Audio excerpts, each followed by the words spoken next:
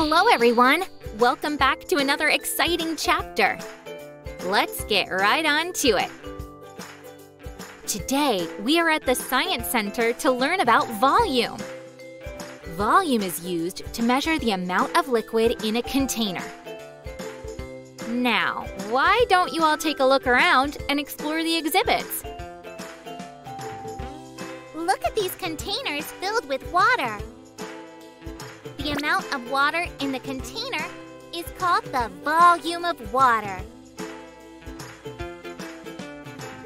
Let's compare some flasks.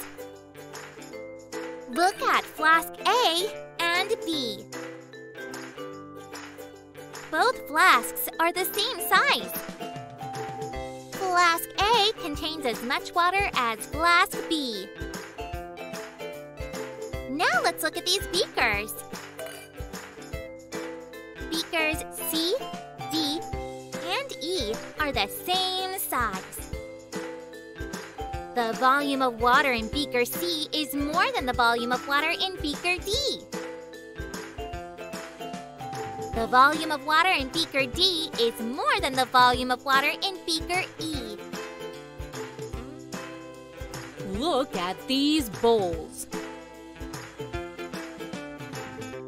The volume of colored water in bowl H is less than the volume of colored water in bowl G. Bowl F has the most volume of colored water. Bowl H has the least volume of colored water. Next, let's use containers to compare volumes. We have two jugs, jug A and jug B.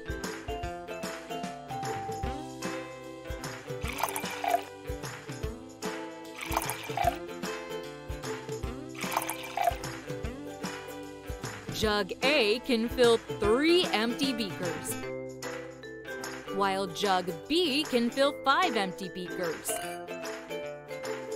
Therefore, Jug A contains less liquid than Jug B. Jug B contains more liquid than Jug A.